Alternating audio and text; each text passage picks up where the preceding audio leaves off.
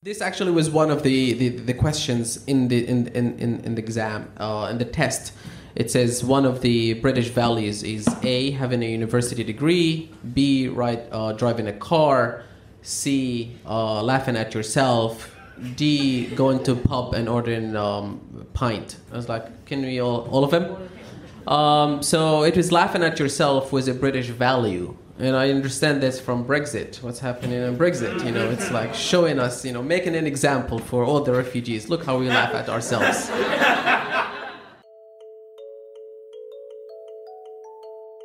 Hello, and welcome to Freelance Pod. My name's Suchandrika Chakrabarti, and I'll be your host. Freelance Pod tells stories about creativity and the digital revolution. I've been a journalist for 13 years now and a podcaster for nearly two, so I've seen a lot of the changes that digital has brought to the media. I've also trained a lot of people on how to deal with all these changes. I'm now freelance and juggle a number of jobs myself, writing for different audiences, making audio, teaching, speaking, presenting. It's a classic portfolio digital career. On each episode of this podcast, I ask a person who works in a creative field tell me about how the internet's transformed or invented their job. From Twitter's director of curation to Ed Miliband's podcast producer, along with a few appearances from some guy called Charlie Brooker, we've been hearing brilliant stories about how the internet has revolutionised work and, well, our lives. If you enjoy the podcast, please do rate, review, and subscribe over on Apple Podcasts, and why not tell a friend too? This helps our community grow, and that enables me to keep making Freelance Pod. You can also sign up for the Freelance Pod newsletter, which comes out every time there's a new episode, which is about every week. You can find the newsletter at suchandrika.substack.com. Suchandrika is spelt S U C H A N D R I K A, so that's suchandrika.substack.com. The podcast is also on social, of course, and I do love hearing from you, so feel free to get in touch. You can find it on Twitter at freelance underscore pod underscore. It's on Instagram at freelance pod, all one word. There's also a Facebook group. Just search for Freelance Pod. The podcast isn't officially on LinkedIn, but you can find me on there too. I'm Suchandrika Chakrabarti, and I do share all that juicy Freelance Pod content on there. So, guess what? Freelance Pod had a live recording. Yes, this episode was recorded live at Kings Place on Saturday, the 7th September, as part of the London Podcast Festival. My guest is someone you have heard a bit of on the podcast before. It's Syrian refugee, stand up comedian, journalist, and lecturer Abdul Tahhan. What you're not able to get from the podcast is the visuals that we use as a backdrop during the 90 minute recording. And so I have put the slides online and you'll be able to find the link to that in the show notes and on Freelance Pod's social media. And I do suggest you just go and have a click through and just see what we were talking about. You might be wondering which book we're referring to at several points during the episode and where we're getting these questions that we're asking the audience. I've got a copy of the latest Life in the UK test book, both questions and answers. So, the Life in UK test is something that anyone who wants to get British citizenship these days has to take. There are 24 questions in each test, and they are random. It demands an eclectic knowledge base, as um, as you'll hear when um, we keep pelting the audience with questions. But there were prizes, so they were given something back for their time, including Freelance Pods stickers and masks. If you listened to this episode and feel like you missed out, well, you know what? I reckon you did. But don't worry, you have a couple more chances to see Freelance Pod live in 2019.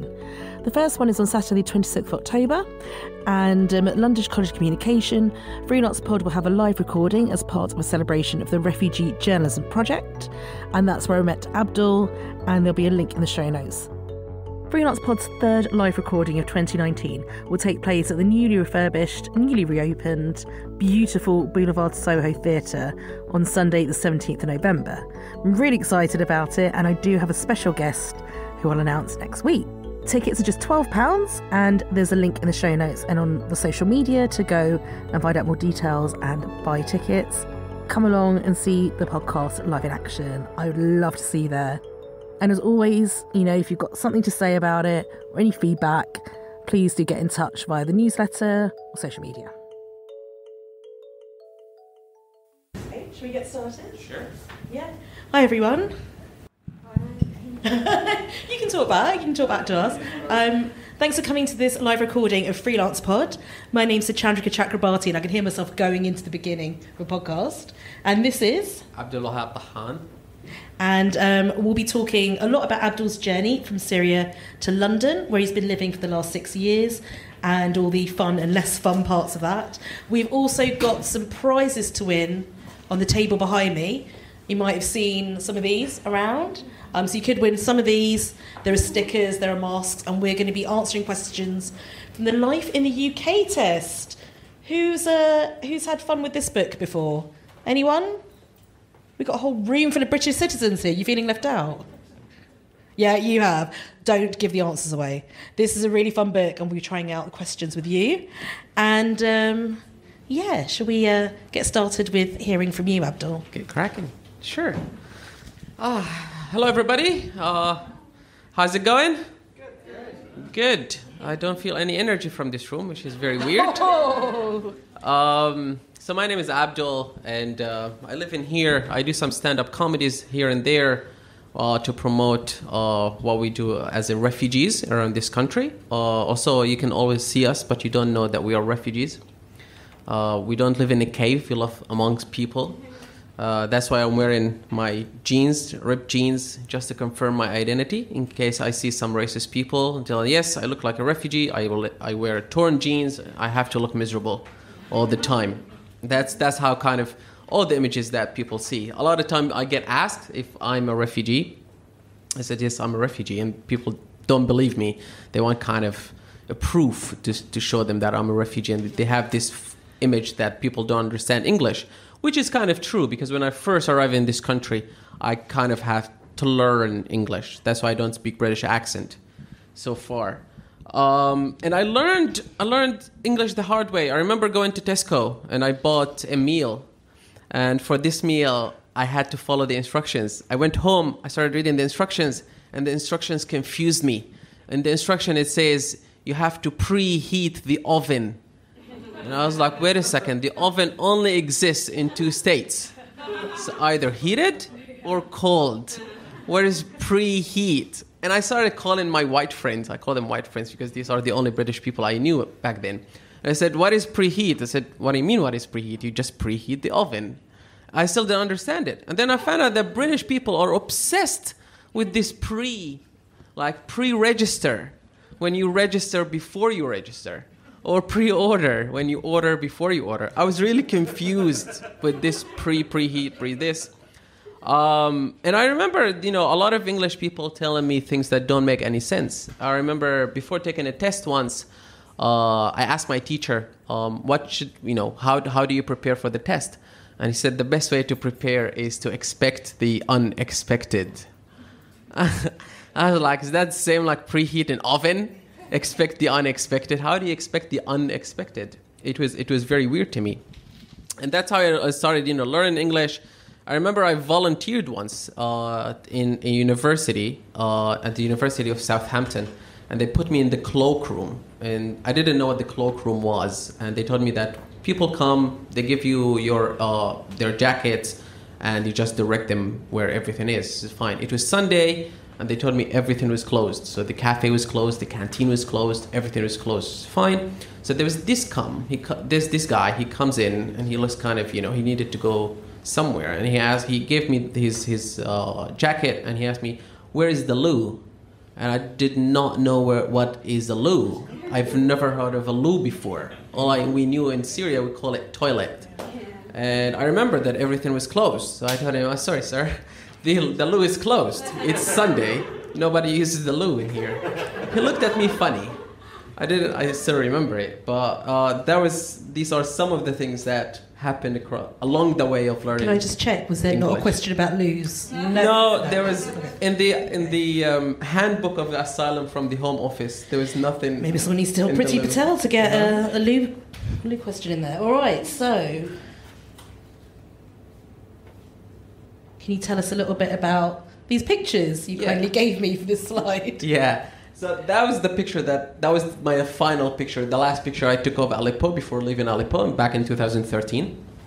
I was uh, I was passing, and I was so lucky because there's a, a, a warplane came and bombed that building. Uh, fortunately, there were no people living in, the, in there, so nobody was killed. But that was the last photo I took. Um, that photo was my neighborhood. It's where I lived and I grew up, and I remember it uh, piece by piece. Um, it, so it was pretty much, you know, I was one of the lucky people to, to have escaped Aleppo and made it to England. To you know, usually a lot of refugees, we go from Turkey into Europe, and then I made it into this island. I still don't understand why I made this journey. I still question this, it. By this island, do you mean the Great British, the Isles of? Yeah, yeah, this island, yeah, Britain. It's it's an island uh, outside Europe, but yeah. But so so these are the this is the the last photo I, I took of Aleppo, and I quite remember it. I was on the van. Uh, walk, uh, on the van, we were going to the borders. I was uh, already on my way to Turkey uh, when we stopped. We took some pictures, just like a tourist. we stopped. We took some pictures of what happened. Was luckily nothing had happened that day, and then we we, we continued our way uh, to Turkey. Well, what does it feel like to look at pictures like this of your home? Uh, it doesn't feel anything right now because like feel numb totally. Um, especially after spending six years in here, um, and feel like this is normal. And again, you'd feel you're so lucky that you've escaped.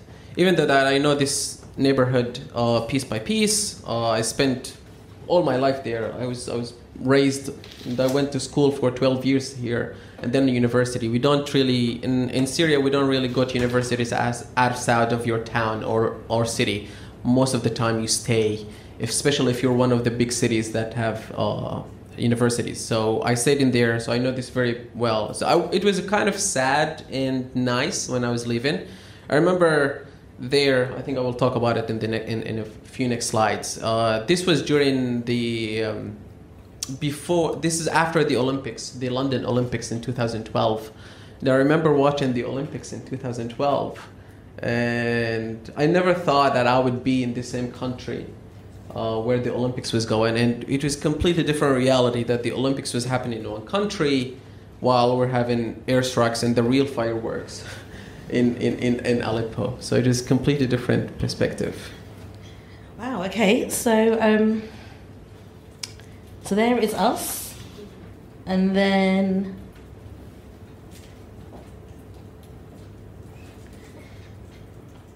We've gone over most of these, except maybe the journalist side. Can you tell us a bit more about getting into journalism back in the day and also in England? Because it's not been easy, has it? Yeah, back back in Syria, so we didn't have really have any journalism back in Syria. If anyone from here from Arabic countries would understand, anyone from Arabic countries, nobody. So if you were in from Arabic country, you would understand that all the journalism you do in Arabic countries is to to write reports to support the uh, the party. There was only one party in Syria, the Ba'ath Party, and all the newspaper, all TV just talk about uh, you know the president and how good he is, and that's that's pretty much all the journalism. So I didn't study journalism.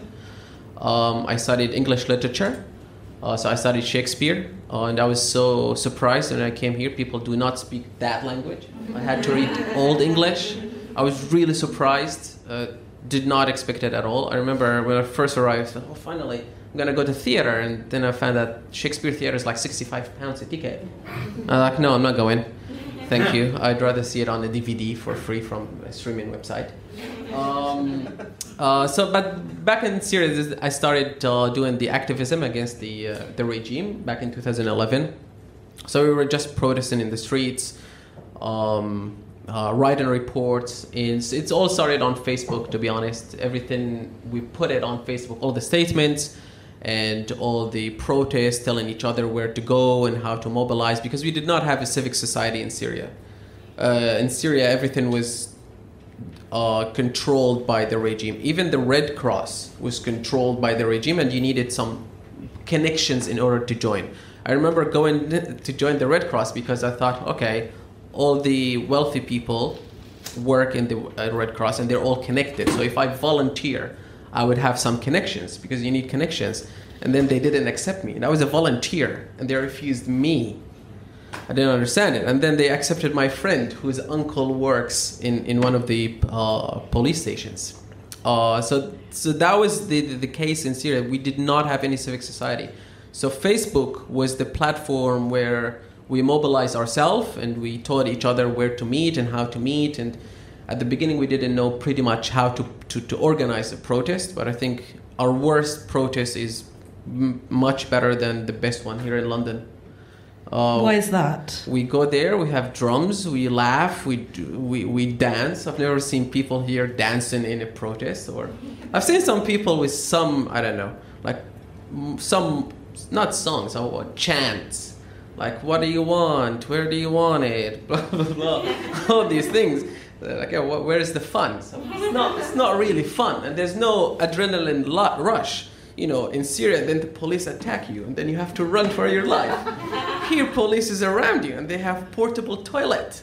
A portable toilet. What is this luxury? It's called portable loo. Yeah, loo. And then you finish. You go to Starbucks or you go to the pub or somewhere.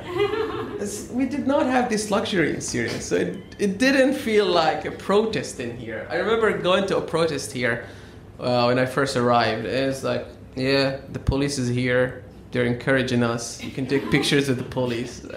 I went and told, the police, "What's wrong with you? Go and meet, meet some people. You know, don't you have a life to do?" it was very weird. Um, so completely different. So when I uh, um, when I crossed to Turkey, I started living in Turkey. I started working with a lot of journalists. Most of the journalists I worked with, uh, surprisingly, uh, were white middle-aged men, uh, and they gave me lectures about my country and what was happening in my country. of course, uh, without uh, any care about health and safety. We don't really have health and safety in Syria um, or, or you know an understanding of health and safety. So I worked with a lot of, as a fixer for a lot of journalists. And for those of you who don't know what a fixer means, uh, a fixer is someone who takes journalists back to Syria or to some places in order to chat about or to show them what's going on or to uh, uh, provide some people to talk to take them to interesting places and checkpoints. And that was kind of my job. So i worked with a lot of journalists in there. And of course every time one journalist wanted to to to, to take a you know a picture or a video they would put me out of the picture. They would put you know one of these vests as press you know and take a picture. That would be their profile picture later um, so that was that's what I did, and then I worked on a documentary. Oh, it's a 52 minute documentary about the situation in Syria, and then I came here. And when I came here, I thought it would be so easy to get back into working as a journalist, uh, but I was so wrong because I found all these jobs are taken by middle white uh, aged people. Uh, the same expert always goes from one TV to another. How many journalism jobs did you apply for when you got here? I don't remember the exact number, but it's definitely more than 100. And whenever I get a reply, I always go to the second paragraph. It says, We regret, or unfortunately. So I don't even, sometimes I get an email and I don't remember applying for this job. But yeah, that's, that's in here. Until I got back, so there was a, a project called the Refugee Journalism Project. Uh, it was launched here in the in London uh, in LCC by Vivienne Francis. She works at uh, London College of Communication, where a lot of refugees uh, from you know who have any background in journalism would come and produce something. Uh, so I started working for an NGO, uh, working on documenting airstrikes in Syria, and started writing a report. Some of my reports were presented at the UK Parliament which was great, uh, but didn't have any outcome, uh, unfortunately. Um, and other people started working, you know, for Reuters for a couple of times. I wrote uh, a couple of articles, one for the Guardian, one for the New Arab. So, you know, you do a few things here and there. That's for journalism in here. Okay. Um, and then a little about me. So I host Freelance Pod, which is a podcast about how the internet has changed work, particularly creative work. So often speak to journalists, podcasters, graffiti artists, anyone like that. I'm a freelance journalist myself, and I was working at the London College of Communication and was a mentor on the Refugee Journalism Project. I was not your mentor.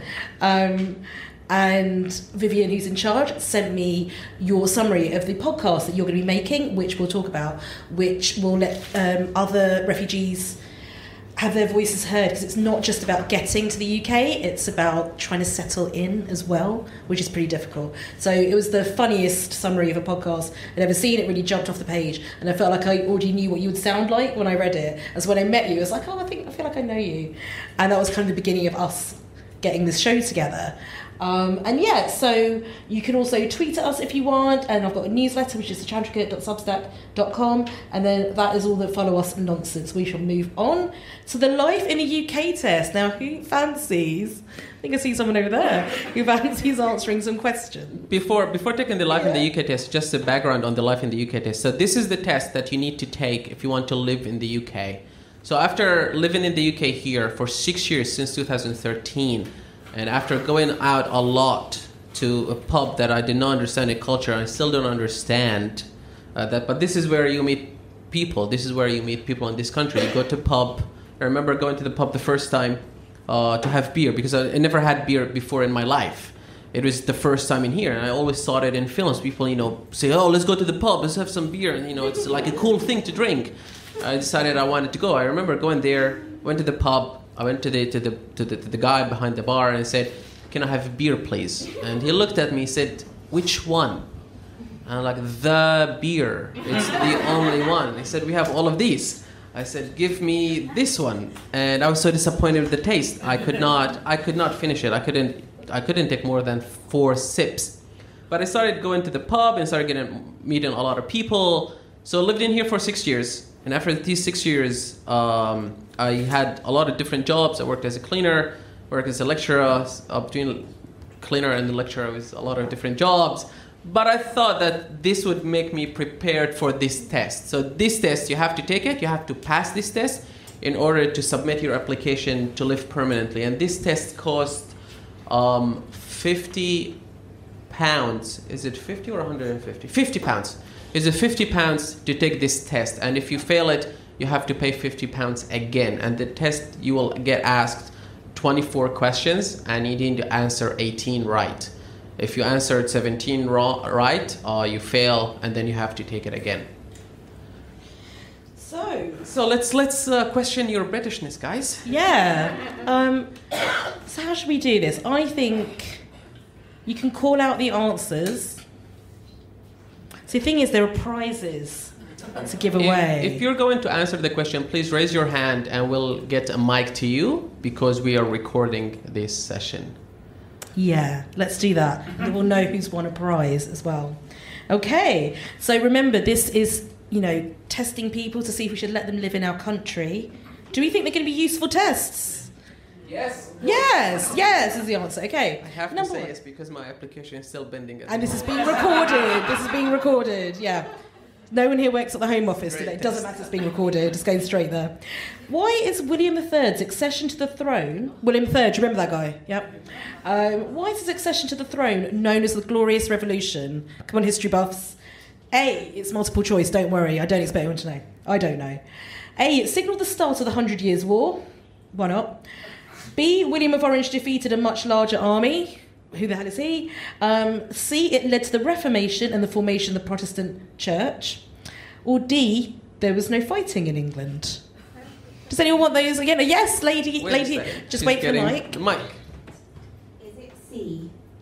It led to the Reformation and the formation of the Protestant Church. Unfortunately, not. Us nodding at each other did make it feel like that. Good try. It was D. There was no fighting in England. But can I just say, because you were the brave person to put your hand up first, do you feel free to come up and get a prize from the table? And yes, let's clap. Bravery be rewarded. So yeah, go nuts. There's stickers. There's of Putin. I mean, I went for it. What was your name? Priscilla. Priscilla, thank you for coming up. Enjoy. um, okay, so let's uh, let's keep going. Which of the following statements is correct? During the A, during the reign of Charles I, Parliament attempted to take control of the English army following a rebellion, rebellion in Ireland. Or B, there's only two answers here. During the reign of Charles I, Irish Catholics supported the views of the Puritans. Anybody? Oh, at the back. I have no idea. Do you just want to win something? It, that's that's one of the easiest questions when you get 50 Is 50. it? Yes. Oh, I see. Um, you Because can't phone a it's friend. true, true or false. Okay, It's- it's it was not- A. I can't. I can't even read these back. Um, let's try this one. Which political party was Clement Attlee a member of? I reckon we could do this. Clement Attlee, A. Lib Dems, B. Conservative, C. Green, D. Labour. Uh, Labour. Labour it is. Yes. Come prizes, prizes. What's your name? See, two, two out of three. Not so bad. All right, let's do. Let's do one more. Are we enjoying these? I mean, they're quite hard, aren't they? Okay, we'll do a couple more. Ask something other than the parliament. Ask culture. I know. I, I picked a re- test seventeen was the Parliament one. Okay, a conflict in which of these areas in the 1990s? So most of us were born then, at least. Um, involved the British troops. A. The Maldives. Remember when we owned the Maldives? B. The former Republic of Yugoslavia. C. South Africa. D. France. So a conflict in the 1990s involving British troops. Maldives, former Yugoslavia, South Africa, France. Anybody? Lady at the back. Yes, well done. Woo! Can we get a prize? I know who this person is. It's Dr. Bashaka Hughes. Couldn't wait to come and get her prize. Well done. Go, go for it. All right, shall I do one more? And then... Do do someone some something other than the something cultural. There are there are a lot of cultural questions to make sure that you pay a lot of money to go to these places like the O2. I don't know if I got my. Um, There was there was there was a question that appeared in my in my exam asked me uh, where is the O2, and I remember someone asked me what is the O2. Okay, this, this is similar. So, which of these is a Gilbert and Sullivan comic opera? Which surely is the first thing you learn at primary school in Syria. Yeah. Um, so, A, is it Evita? Could be. B, is it Jesus Christ Superstar? Could be. Are you allowed to laugh this much in the test? Um, C, The Mikado. D, Cats. Cats, very topical. Oh, everyone. I feel like your hand went up first. Yeah. It's C, and I, the rest are Lloyd Webber. Yes, the Mikado. Yes. Yeah. Please come and get your prize. Well done. Woo! What was your name? Zach. Zach. Well done. See how would how would how would a Syrian refugee know these? Like I can't even afford to go to watch any of these plays. Because you didn't have Twitter back then, so you couldn't see the Cats trailer when it dropped. Because that was big. That was very big. I've seen it. You've seen it I've now. Seen cats. I've seen cats. You've seen Cats. I've seen cats. One of my friends uh, bought tickets. I was living in Southampton. One of my friends bought tickets and she couldn't make it. She, she gave me the ticket for free. Did you like Cats? No. The musical? what I did you not like about I Cats? did, I did not understand. What about the song Memory? That's very beautiful. That, that was the only song that I had to wait all the, the, the play to, to for this song. Is it something about the half cat, half human hybrid that mm. doesn't do it for No, you? I, I didn't understand why adults dress like cats and dance on the stage. It doesn't make any sense. We don't need Twitter if you say stuff like that. You just who needs Twitter? Fair enough. Okay, we will come back to the Life UK test. Well done to everyone who's won a prize. There'll be more, don't worry. So let's move on to oh, this picture of you when you were young. I've really hyped it up now. Oh, there he is. There he is. So it's me in the middle, the glasses, the only one with the glasses.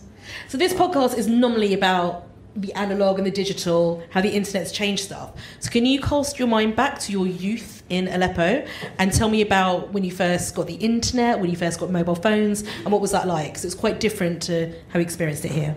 Um, back in here, it's I think uh, we've had cell phones for a couple of, of years and then, but that's with in 2003. Uh, we had uh, cell phones for a couple of years, but before before that, we did not have any cell phones. We did not have internet. Um, uh, we were we had only two channels on TV. Uh, first channel is you know we have one hour of cartoon and that's it, and then the second channel Sounds good. was not for a kid, and uh, we had six days of school, not five. So the weekend was only Friday. Um, it is not Friday and Saturday like it is now, and uh, only one hour of cartoon, and um, the second channel was only in English and French, even though nobody in Syria speaks English or French. So I don't understand why we had the second channel. So we had only one channel on TV.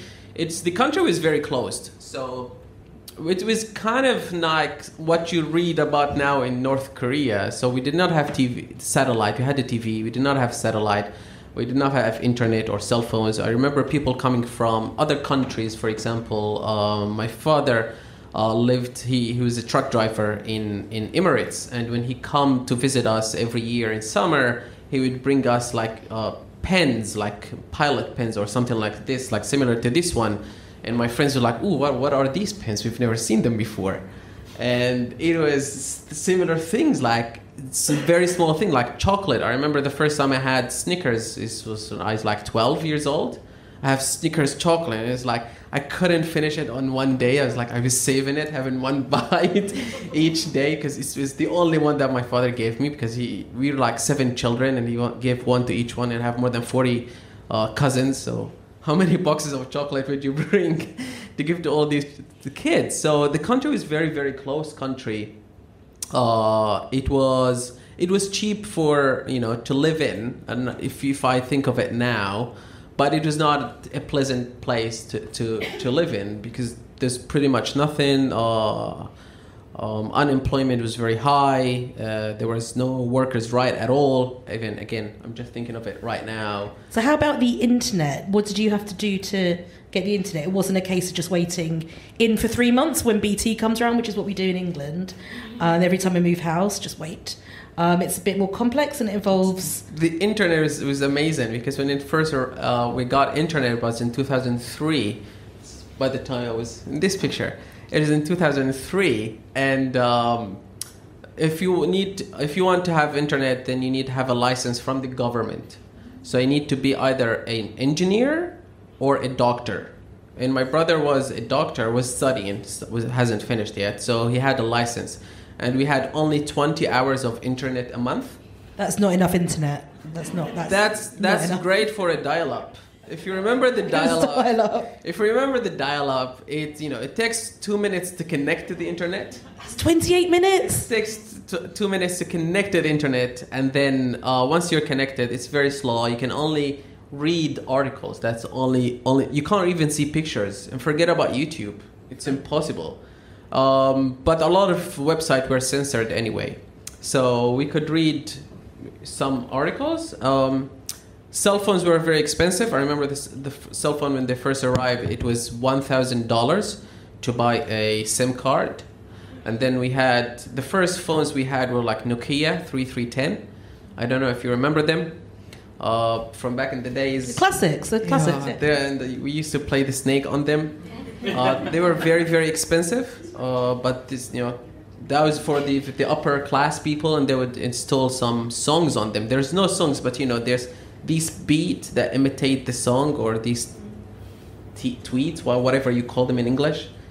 You know, Like it's not like real music. yeah, it's no, like kind no. of very free an- very music. annoying music that makes you think of a song. Uh, okay, my phone is ringing. Need to shut up. So yeah, that's it. So it was it was very expensive. It's very it's a country that was very closed. Uh, I saw, I saw tourists because I worked later in a hotel. I worked as a receptionist, and all the tourists. I always wonder what brings them here. And all the tourists were religious tourists, so they come because they said Jesus Christ was in Syria. I said, I'm sure not now, not anymore. and they would always, we always sell them, you know, they're all, all the tourists were white, all of them. Uh, I've never seen any Chinese, for example, or Japanese or black person. They're always white, and we always, always, al- always sell them these uh, traditional clothes that look so silly in them, and they look so happy. I've never seen happy. You know, the happiest person is a white person wearing traditional clothes of another country. and we tell them, "You look great, mate. You look great." And um, and you know, you you whip up the charges. You know, it's like it costs maybe three pounds, and you sell it for ten pounds, and they would think it's a bargain. Can you describe these kinds of outfits to us? I don't think we have a picture. Uh, the outfit, I think, is a very traditional one. You see it sometimes in on, on you know if you're watching things from early days. It's it's kind of a fashion right now. I think it's kind of a trousers. It's like I don't know that very baggy and uh, made of. Uh, I don't. They're not. it's a very baggy black trousers and uh, a white shirt, and then there's kind of a thick belt. It's like a, it's not a scarf, but it looks like a scarf. You want to put it around your neck, but you don't put it around your neck. You put it around your waist, and then you put some red thing here, like a hat, but it's not a hat. I don't know what's what you call it. You have to have a head covering, definitely. Yeah. Because we're bald, Yeah. see, that we always cover things. So what I like is that I feel like if there was a Syrian version of the Life in Syria test, that I feel like I'd be a bit closer to answering that question: how to not get ripped off. How to not get of? Yeah. Don't look white. Okay, I've got that down. Um, so, so how about oh, um, we mentioned when we were talking about the show. One good thing about the having mobile phones was that people could document war. So, could you tell us a bit about the Turkey-Syria border and what it was like being there at that time? All right. Um, so back in then, um, cell phones were very expensive when they first um, were introduced in our country, and later on they got cheaper and cheaper, um, and the country started getting uh, uh, started getting you know a lot of business from outside and people and started you know opening a little bit, and uh, cell phones started getting cheaper, um, and um, for us, pretty much everyone back in 2011 when we started the uprising against Assad, pretty much everyone had a cell phone that has a, you know a camera. Even the cameras were not great, but you know they would document. So if you look at if you watch YouTube, if you go back to 2011, if you all these videos from 2011 before, they're either shot on a digital cheap digital camera or a phone uh, camera. But pretty much everyone had a phone, and uh, these phones were the reasons why there was the uprising were kind of successful or made it commit um, made it a lot of noise and now because everything was documented. Unlike the 80s during the 80s there was an uprising against assad. He crushed it. He killed over uh, estimated between according to the un between 10 and 40000 people in three weeks in, in hama. According to, to people in, in aleppo uh, with it, there's over 100000 people were killed in, in these three weeks it is not covered it is because we were in a very close country. But because of the cell phones and internet we had access to uh, we started you know writing things and put it on facebook on online. So face so cell phones created a huge difference. And this is the difference between what's happening in yemen and what's happening in syria. Because i worked at when i arrived here in 2015 i worked as a yemen researcher for amnesty international for a short period of time and the difference between Yemen and Syria is that in Yemen, not everyone has a cell phone. Not everyone can document what's going on. So we had a, a uh, someone in, in Yemen, and we'd ask them to drive to some place in order to go there and check if there was an airstrike or something. While in Syria, you did not have to. Until now, when I was doing my report, I can contact people living in Raqqa or living under ISIS-controlled area, and I can get some verifications, videos, names, pictures you know, in, in these places, these people were risking their lives talking to me and talking to other journalists. But if you want the information, you can get it.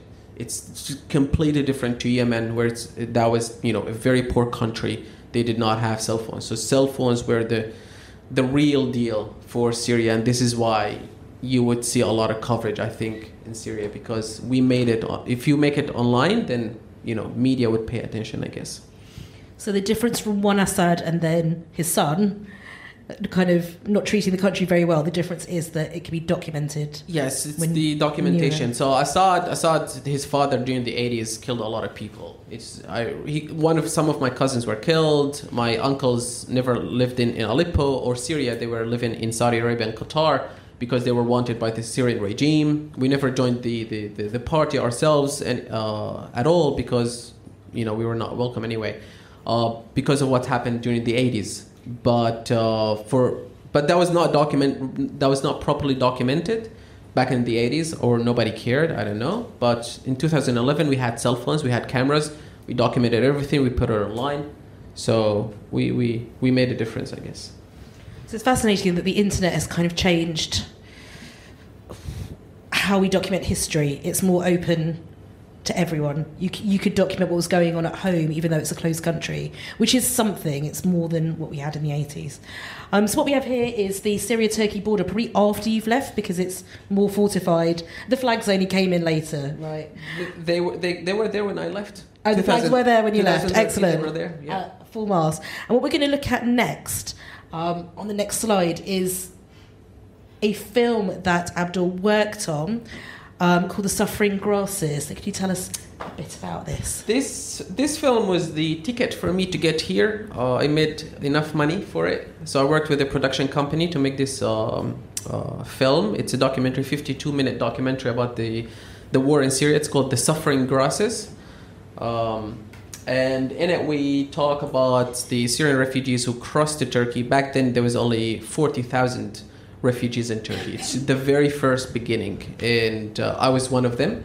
And I worked as a uh, fixer and a translator. And this is the school where I worked in when I was in Turkey at the Syrian border. So you will see me talking about my friend in here who was protesting in, in Aleppo, and uh, you will see a guy who lost his house and who was also talking from the Syrian uh, Turkish crossing borders. We'll just watch those two clips now. one of my friends was in a protest. They were protesting peacefully. And they started saying we're peaceful uh, uh, protest, we're peaceful protest. But the security forces started shooting at them. And then some people were injured. And then yet they said like we're peaceful. And then they raised their hands. The shooting didn't stop. So they started skating and running. And after that day, I called my friend and said, you're okay? And he told me that I just want a weapon. Give me some weapons and I'll, I'll, I'll show you how it is. Uh, so the second one would be from the, uh, the Syrian Turkish borders, and this is a guy talking about how he lost his house, uh, but he can still see across the borders. These are the mines that were planted across the borders, and where some people died.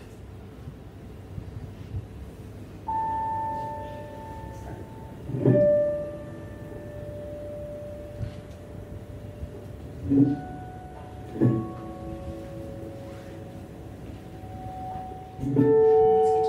20, 2044 for the beginning of the clip, please.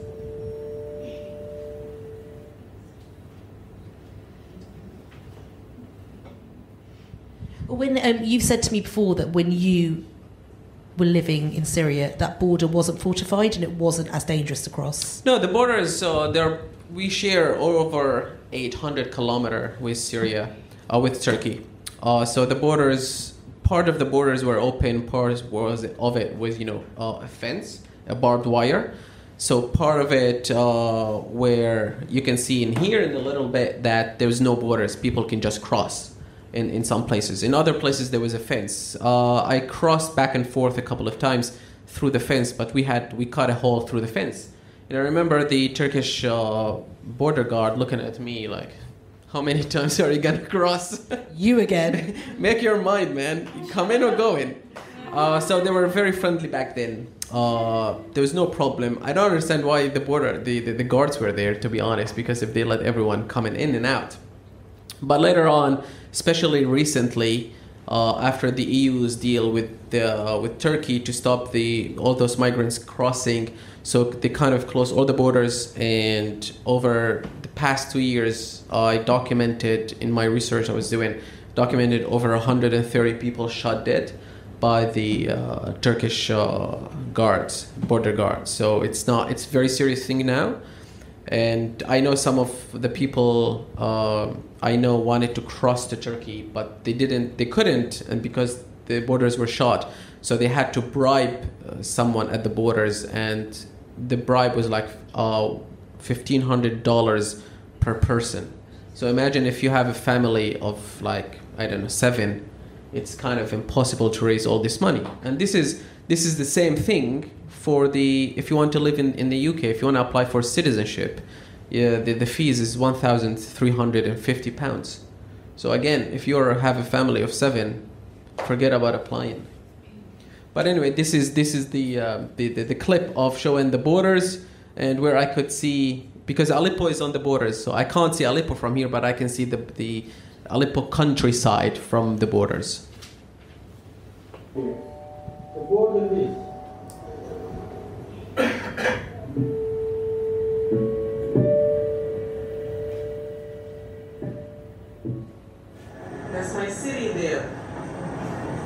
These are the Syrian borders. Aleppo is like over there. The outskirts of Aleppo. You see that tower? These are the borders here. There's no fence, just fields. Anyone can just cross. هاي بناي الي هاي هدة وكنت نزل خيمي أنا تحت حرق لي اياها حرق لي كافة اغراضي وحرق لي سيارتين إيش بس إيش عامل له لبشار الاسد يعني أنا شو سويت له للنظام السوري يعني حتى هدرني وهدر اولادي وحرمني حرم حرمني بيتي وحرمني اراضي يعني شو سويت؟ له شو عملت له يعني أنا لا حاربته ولا تظاهرت ضده ولا عملت شيء ضده يعني. ليش حر... ليش هدرني وطششني ل... ل... ل... لبلاد ثانية يعني؟ شو عملت له أنا؟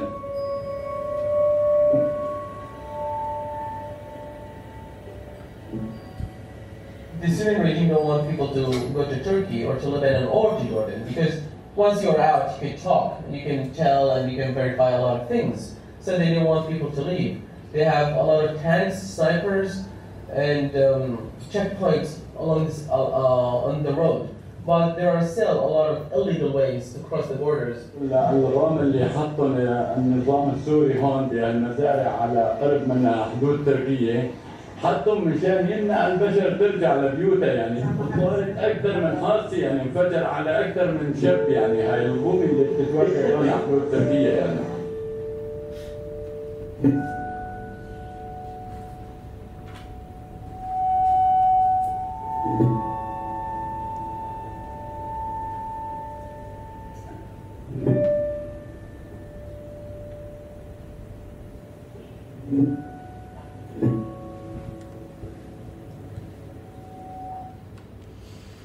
So it sounds like that border became much more dangerous after you left. Yes, uh, definitely. Uh, back then, when I left 2013, it was you know anyone can cross, anyone can come in and out. Uh, but there have been a couple of, of incidents at the border. So a couple of cars uh, uh, were uh, loaded with explosive went off.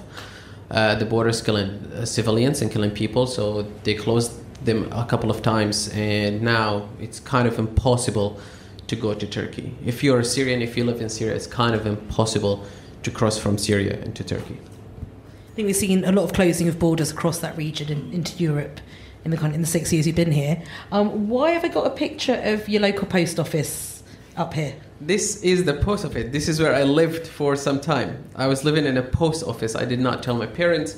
I told my parents I'm out of the country, but I was actually in the country uh, because I could not leave. I, I needed to see what's going on in the war. And now I use this line every time I want to view uh, some room to live in. And they ask me, the host, like, do you like the room? I said, I lived in a post office. of course I lived there. I love this room. I, there's a, a roof on top of my head. I'm happy. So back in here in the, the post office in Aleppo, this is a place called Qadi Askar. Um, and this place was really safe for me. Uh, somehow I felt safe in the post office. The regime would not bomb the post office for reasons I, have no idea about, but they would not bomb it. They would bomb everything else. They would bomb a cemetery, a bakery, a building, everything, but the home office. This is a question for the Life in the Syria test. What would the regime bomb?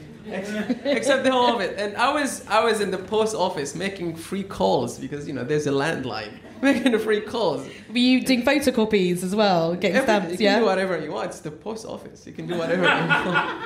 I was living a dream. I was like, oh, this is amazing. This is the post office. So when I, it's a huge. Look, it's a huge. It's like four four stories long. That square footage would cost you a lot in London. It's so when. I came here, I saw the post office inside a grocery shop.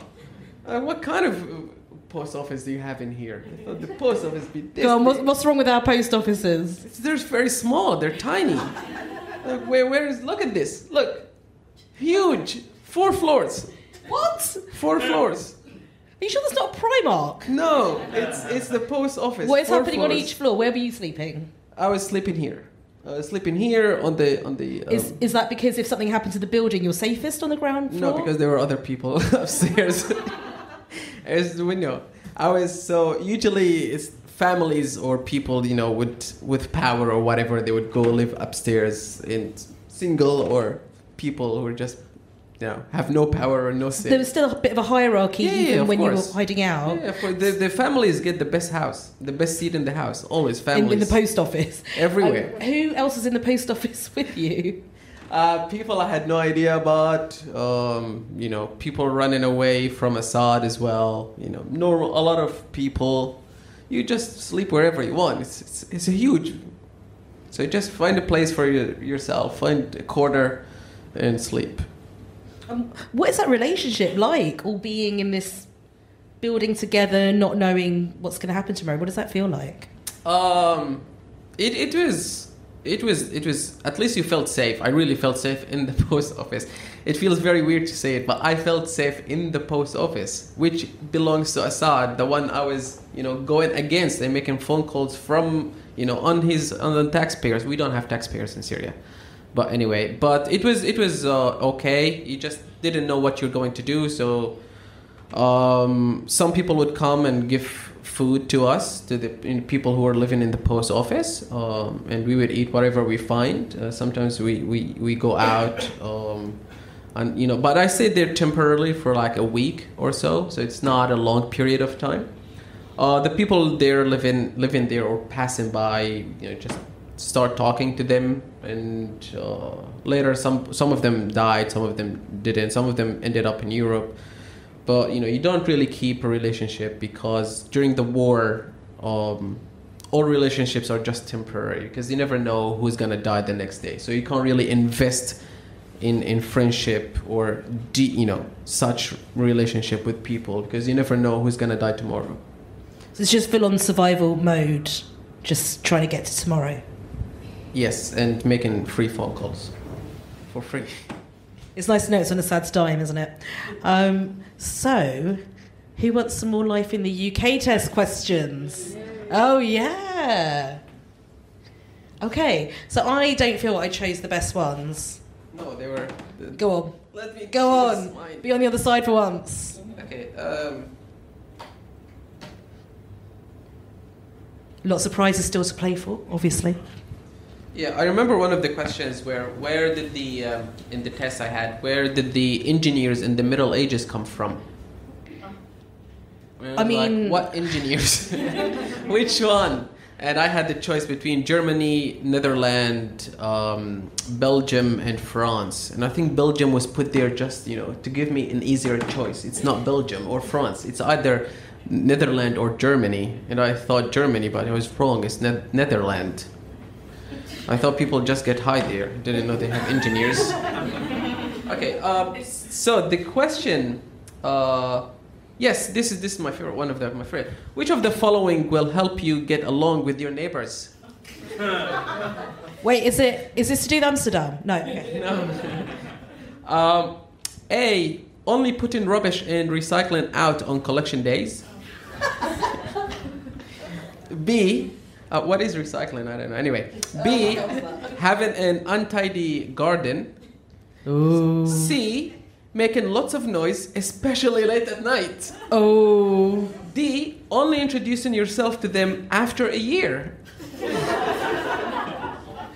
This is the best question. This is a real question. Oh, go on, Felix. Felix. Oh, wait a second. Do you want to give the microphone to, to this guy? Yeah. Did you raise your hand, sir? Sorry. He was on it. Sorry, what's your name? Felix, Are you British, Felix? uh, via Belgium. Via Oh! Belgium. You- You're not one of those engineers that were sent here, were you? I'm not a Belgian engineer No. now. So, what was the answer for this question? In the UK, uh, it is definitely D. You never introduce yourself to your neighbours. Not, not you want to even, get on with them well. Just avoid them. not even after a year. Not, I mean, like, if you have to. Like if somebody dies in the front Uh, garden yeah, yeah, like, if you've got their post, and they're dead. I think the uh, I think the test wants you to answer A though, but it's wrong. the answer is D. If you want to query the answers to the test, we can guide you towards Priti Patel in the Home Office. Good luck with that. what was the answer? Uh, the answer, of course, is only putting rubbish and recycling out on collecting day, on collection days. I like how unimaginative the person who wrote that question and answer was. The answer is all of them, and not to have neighbours, and to try and live in a large post office if you can. Um, okay, there's another one. Um, I feel you should still get a prize though. It still gets a prize. yeah. Yeah, why not? Why not? You answered. You answered. Another one of the my cultural questions that I really like. Um, which one did you go for? Which one is it? Oh, he's gone for Bojo. I love how you said the Prime Minister. Is he still our Prime Minister? Are we sure? Day to day, who can say? So, um, which of the following is covered by criminal law? Drunk and disorderly behavior, dispute with your landlord, employment issues such as unfair dismissal, or debt? Um, well, hold on a second. Get the mic. I'm going for A. Drunk and disorderly behavior. I think this is very British of you. is that you should be rewarded because that's the only way British people talk to each other. I've never talked to anyone on the street or on the bus or anywhere. The only way people talk to me is in a pub. That's it. That's when they have have their pint or whatever in it, mate. Um, so yeah, what do we give her? Yeah, What go did on, she Christina, get? a prize. Go on, Christina. Um, can I just quickly ask? Can you just tell us your thoughts on red wine and what's wrong with it? Everything's wrong with it. Uh, again, it's it's red wine. Um, when I was again, I learned English, old English from Shakespeare and modern English from films. And you guys don't produce any films Which except films? for James Bond, which is not very um, common in Syria. James Bond. Uh, so we watched a lot of American films instead of British films, but we have only, only one anyway. So in these films that we saw, a lot of people have steak and red wine all the time, and I thought red wine is sweet wine that people really enjoy.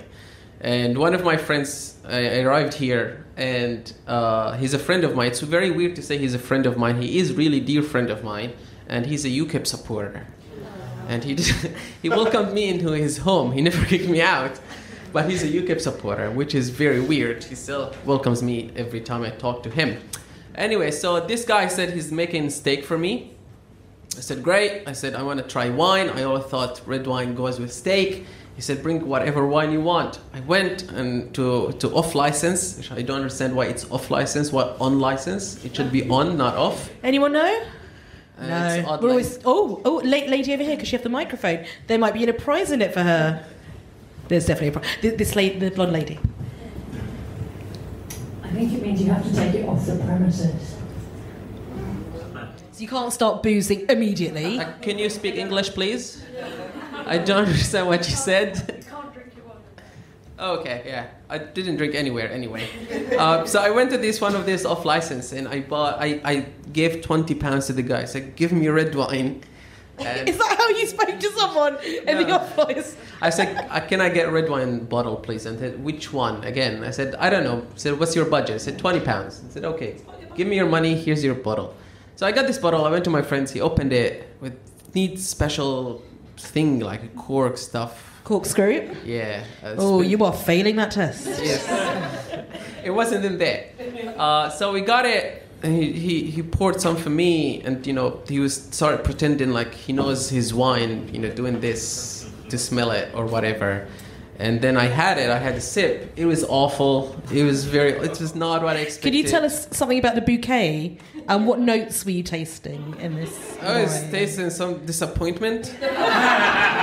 disappointment was made into a glass all these years. You thought this is sweet, and then you tried it, and it's not sweet at all.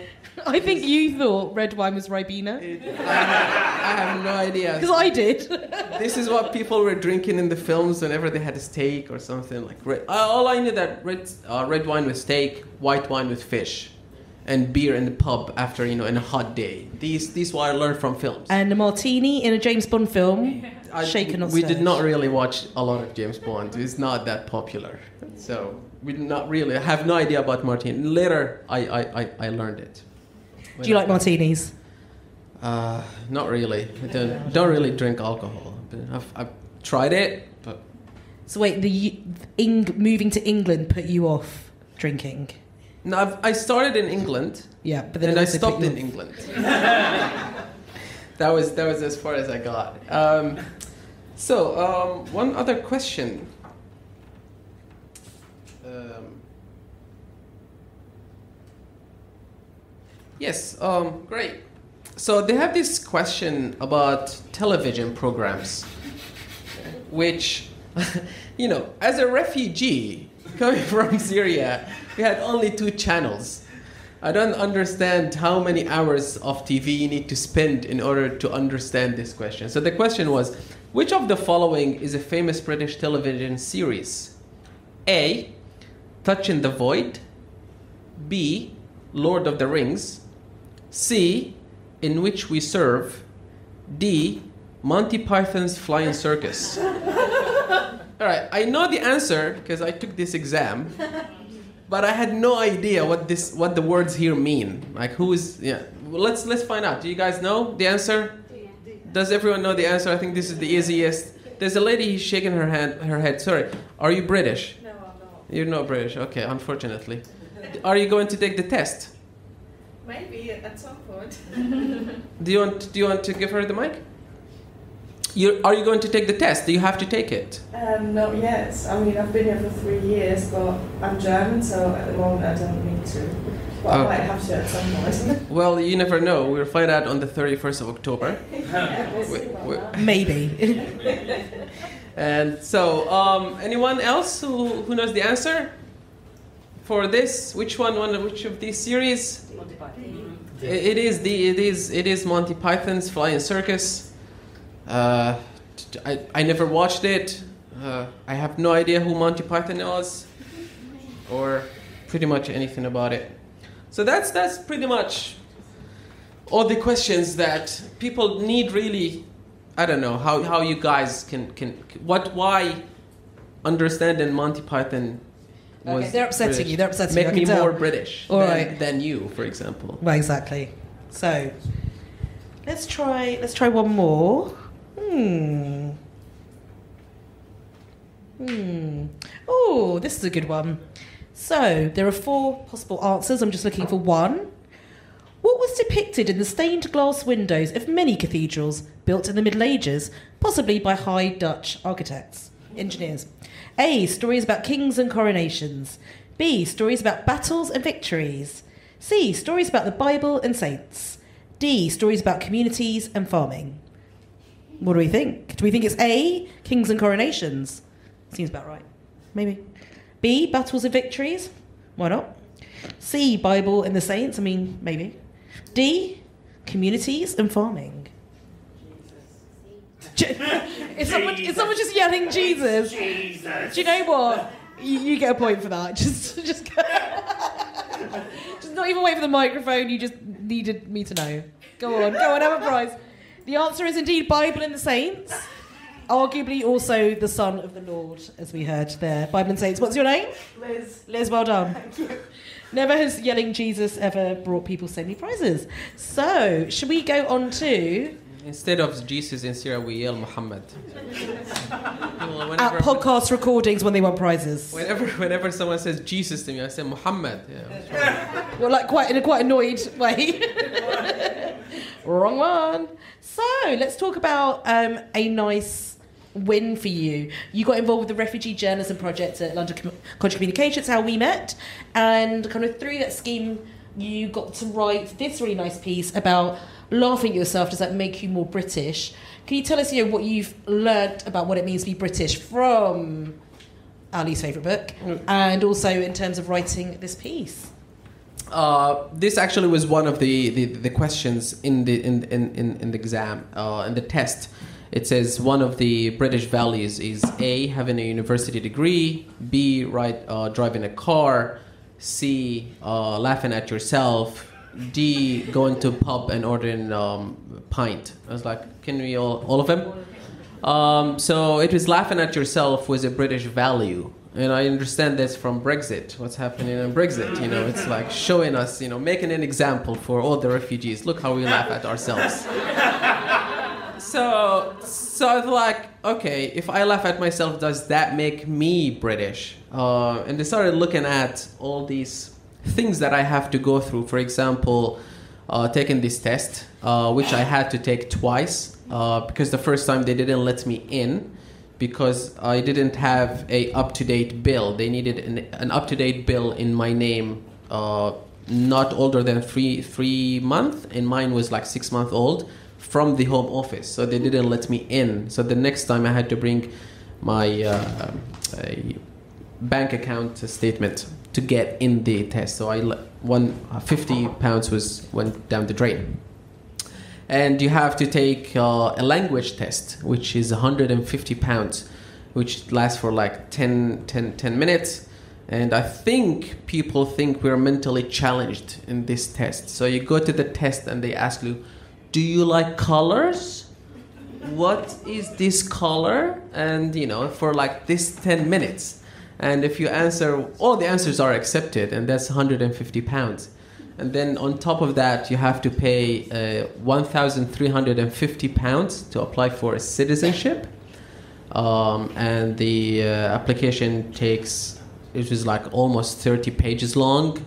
They ask you all these details that you don't even remember, like my father's birthday. I don't even know my father's birthday. He doesn't even know it. Like it's not a thing we celebrate in Syria. So they want your your parents' birthday and where every one of your parents is and everything about you, your tax. And this is the thing I don't understand because they know the Home Office knows everything. They know where I am now. I guess if, if no one in the crowd is from the Home Office following every single refugee. I hear they're really big fans of this podcast, actually. Yeah. So they, they, they have they have all my profile in hand. So I don't understand why they would ask you all of this. So at the top of all of this, you have to wait up to six months. So I've been waiting since May to hear from the Home Office, and all this time you just wait uh, until you hear from them. So during this test, I learned about Monty Python. I learned that there are 15 golf course, I guess, in England. That's written in the exam. I learned that the O2 is in Greenwich, and there's another one in Scotland called SSEN or SEN or something like this. If you show me the uh, um, the letters, I can put them together, but I can't, I can't remember it on top of my head now. Uh, Can I just check? Do you know? Do you know? Do you remember the answer to this one? Which two of the following are British values based on? A. Traditions. B. EU law. it's definitely not EU law. Yeah. C. Party politics. D. History. And I'm going to chuck one in. E. Whatever Boris Johnson says. So A. Traditions. B. EU law. C. Party politics. D. History. Or actually, I'm going to change it to whatever Dominic Cummings says. Um, I think it's whatever whatever comes out of your your mouth after having a pint or two. That is the right answer. That, that Yes. is. You get. It is. It is.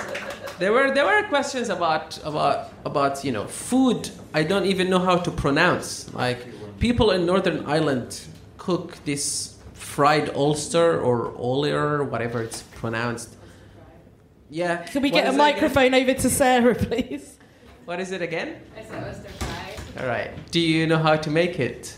Uh, no, I'm not. I'm not actually from Northern Ireland. Okay, you just you just want to annoy me to pretend that you know how, but you don't really know how. it's a fry. It's um like white pudding, black pudding, Yeah.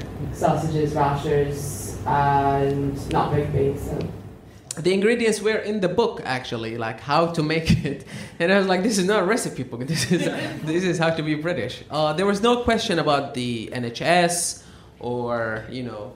Uh, there was a question, to be honest, of drugs that you should not take drugs, and that the only drugs you can take is paracetamol or something from from the uh, pharmacist. And it's like, wait a second, wait, I live in London.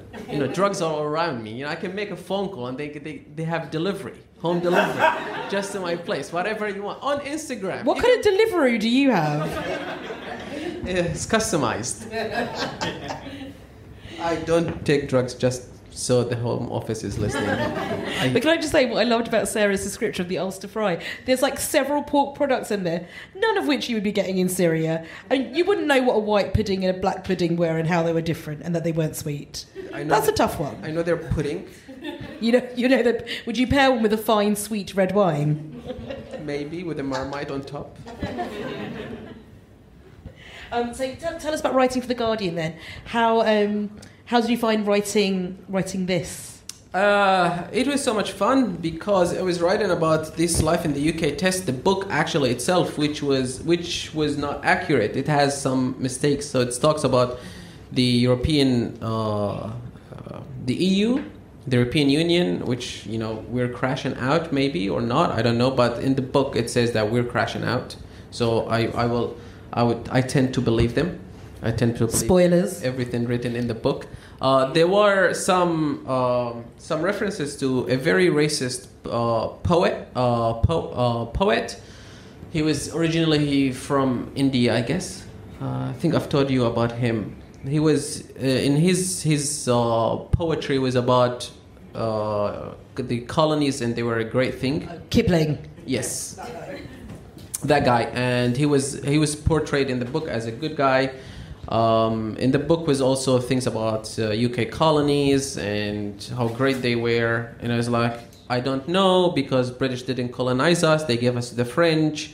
We were not good enough to be colonized by British people, and I was so upset. That was after World War One when Jordan and Iraq was given British, British colonies, and Syria and Lebanon were French. And it was so so there was all the all these sorts in, in, in the book that but writing for the guardian was great um, uh, it's, it's good to, to put your name out there even though once in a lifetime but it's good We'll get you back in there. We'll get you back in there. Um, so, let's have some more. Let's have some more questions, shall we? Hmm. Do people want to win some more prizes and answer more ridiculous questions? Um, what about? Hmm. That's some good ones. Oh, okay. What about this one? Who could not get Parliament to agree to their religious and foreign policy views and try to rule without Parliament? Was it A. Charles I, B. Elizabeth I, C. Bloody Mary, D. Henry VIII, or E. Dominic Cummings? Charles I, Elizabeth I, Bloody Mary, Henry VIII, whoever's in charge when we leave this room. Could be anyone. What do you think? What do you think? Anyone? Oh, Ian, go for it. Henry VIII? No, it was Charles the First, but you are can have a British? prize. Yeah. That's your prize.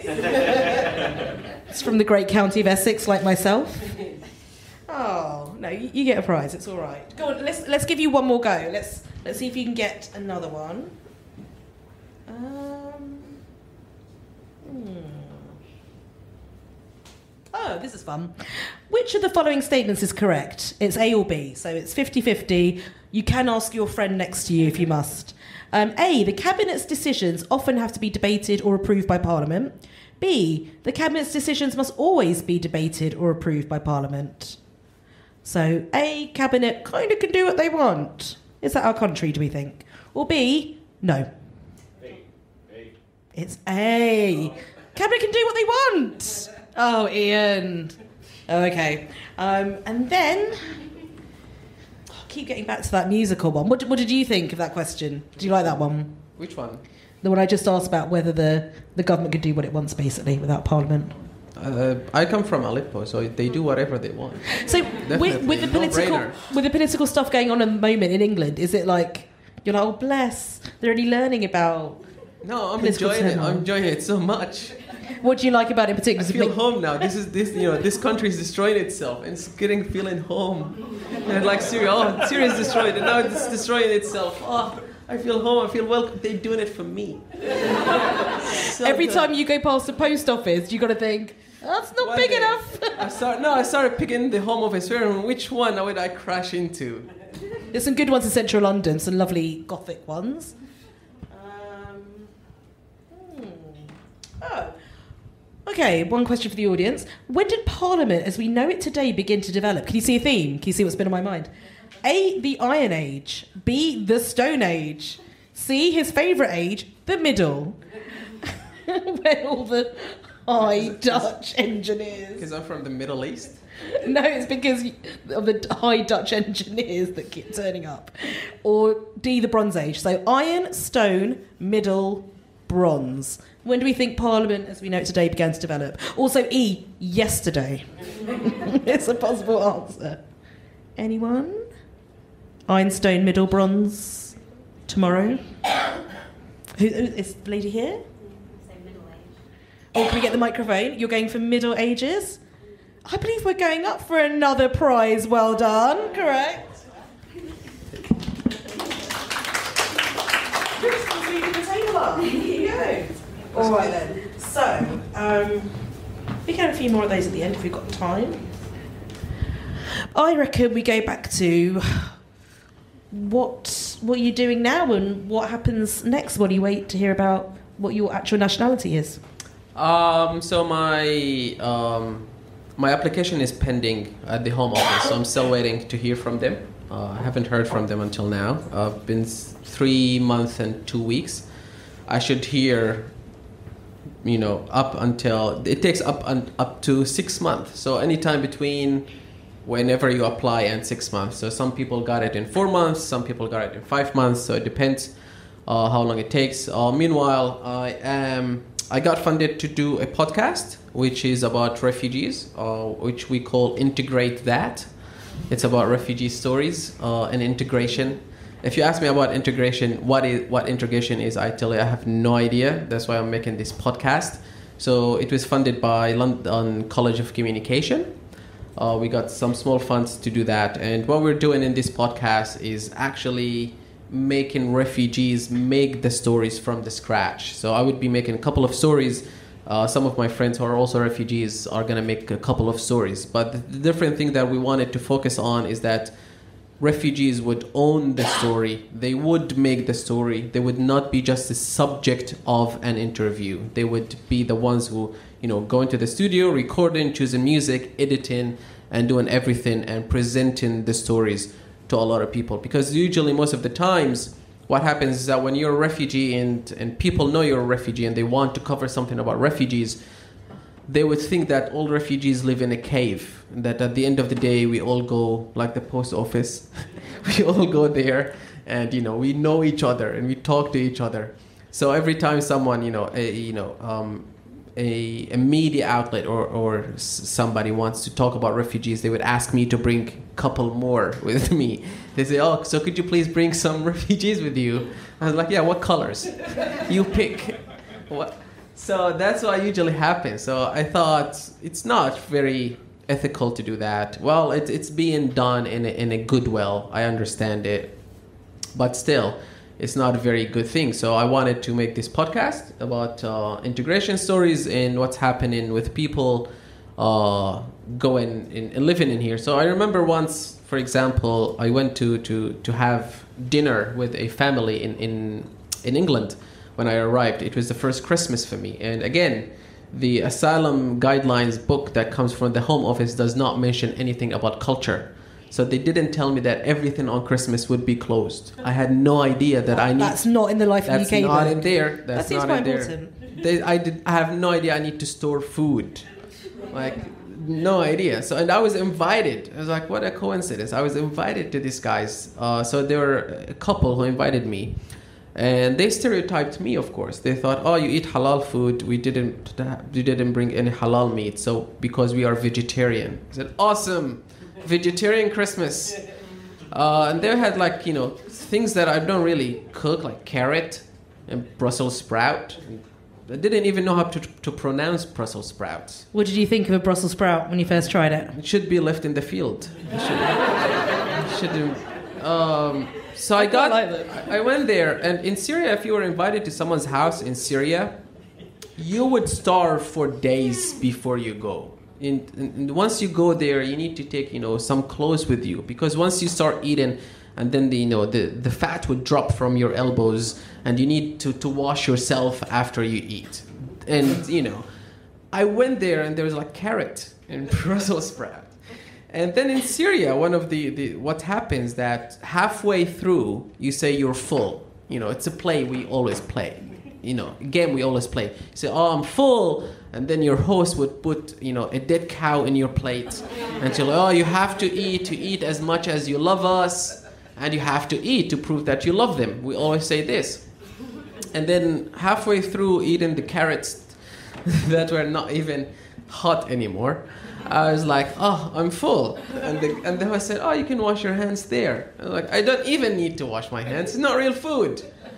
Um, and then they were making these plans for me, you know, for summer. They were being very good hosts. Hey, listen, Abdul, you live here in England in summer. We love doing a lot of things. And I found out that British people love paying money for things people can do for free, which is camping. Uh, I was like, they wanted to take a refugee camping. I like, I've done my fair share of camping. I can take you and your family camping.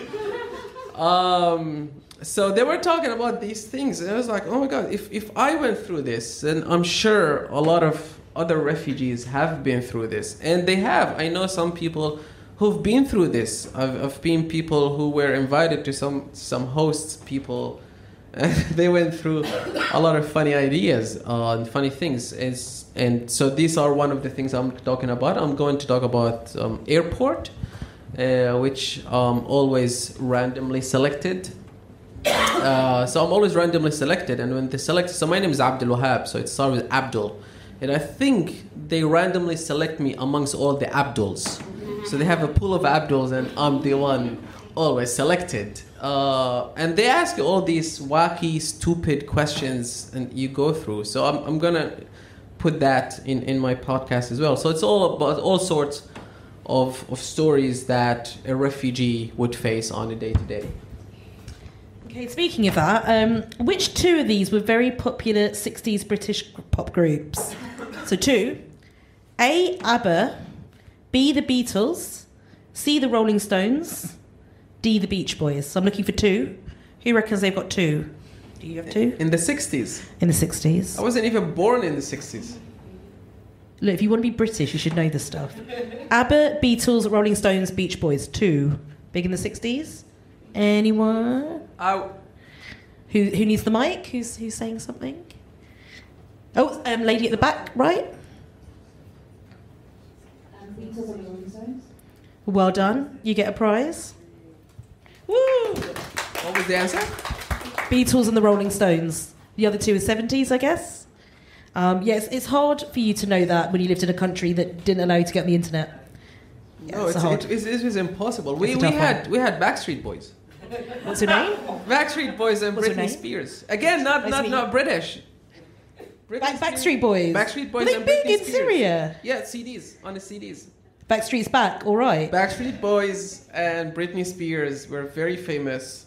Not again, not British. I don't know why you guys never made any music or films or you just make Python, whatever the guy is.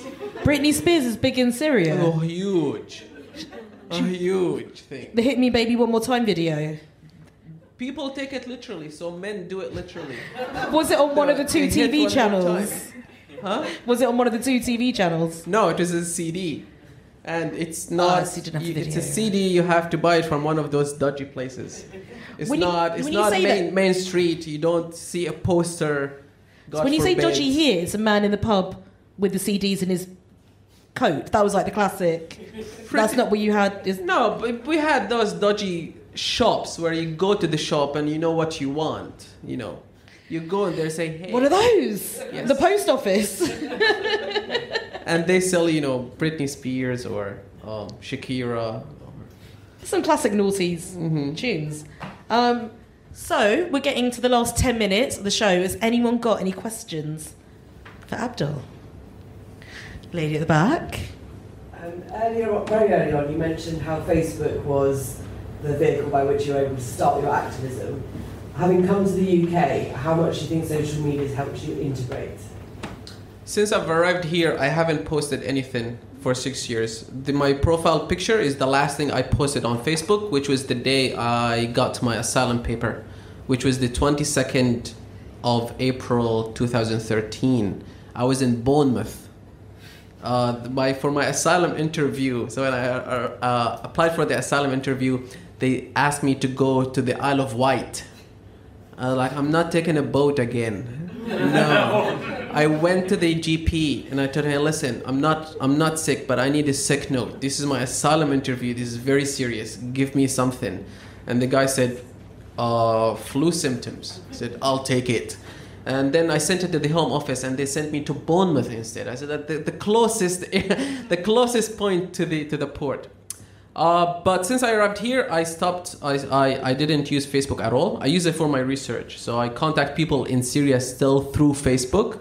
Uh, if I want to do any research, uh, documentation, because it's still a big thing on Syria. So Twitter and Facebook are still huge for documentation. But for life, uh, for life integration in here, not really at all, because um I, I do most of the things like face to face, or like to see people.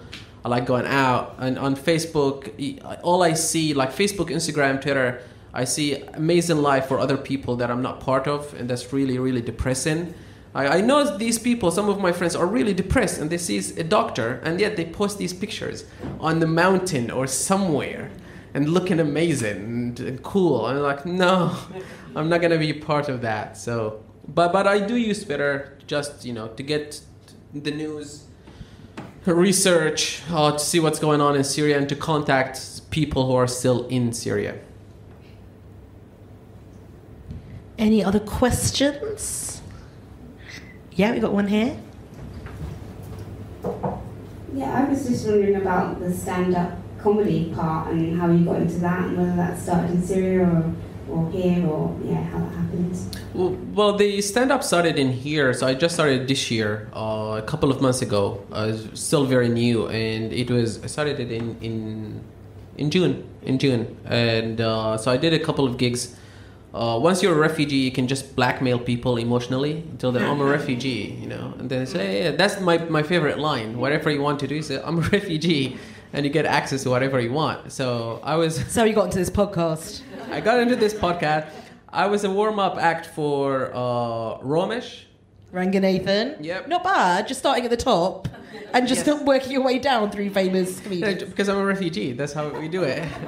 Um, so I just started as a way to vent out uh, our integration stories of what's going on with me. So I don't do this. So my, my material is all about life in the UK and here. What's it like for a refugee to to go to the market to, to buy things like oyster fry, things I don't even understand or know how to read them or pronounce them correctly. So that was all my material, and it helps me. You know, uh, I was doing one this morning. It was the worst one ever. I was doing it in a very serious talk. So there's a conference, you know, for refugees, uh, and it was a very serious one. There was an MP there, and they wanted to break between serious talks, and they brought me. And this is not how comedy works. You can't put a comedian between serious people. And all the people, it's morning. All the people, you know, eating croissant and, and just sipping coffee. And again, this is not the right one. And they were looking at me like, what's wrong with you? You don't know how to preheat an oven? Uh, I don't know. That was my worst. After it, I felt like I wanted to take a shower after because it was my worst ever performance. And I couldn't wait until I get off the stage. Yeah. Do you think it was just too early in the morning for comedy? Is that the problem? I think it is the wrong uh, people I was talking to. You know, when if you're in an event when people are eating croissant, this house and, and sipping coffee, this is not not the place. It's like to sound like your friend in UKIP. Um, any other questions for Abdul?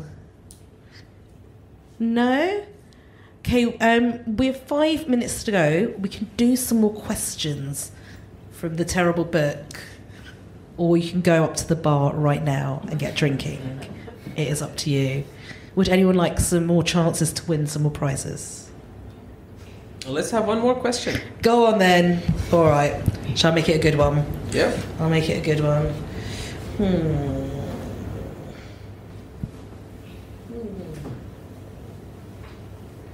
Hmm. It's art- it's arty. It's arty.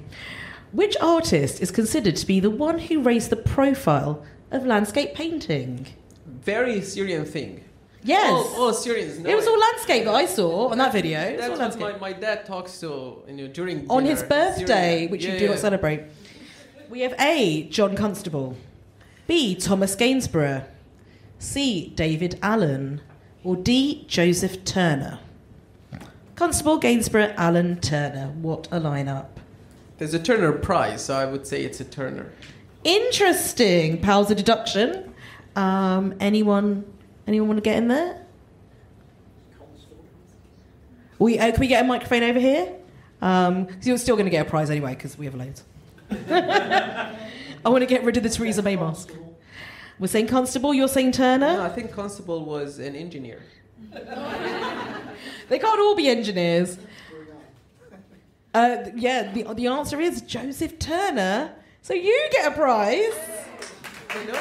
We didn't even rehearse that. I'm sorry, it's not it's not Constable this time round. Um, well, thank you all very much for coming to the first live recording of Freelance Pod. Um, can we get a round of applause for Abdul for giving me so much time and effort? He's already done stand up this morning. As he mentioned, it was not great. Um, and it turns out he likes this room a lot better. So thank you for being a really great audience. And yes, thank you for coming along to see Freelance Pod. This is us on Twitter. That's the Freelance Pod official Twitter. That's me. And that's Abdul. He does use Twitter a little bit. And feel free to tweet us, tell us what you think, and to ask for more of those prizes. And yeah, enjoy the rest of the festival. I'm sure we will see you around. Thank you again for coming.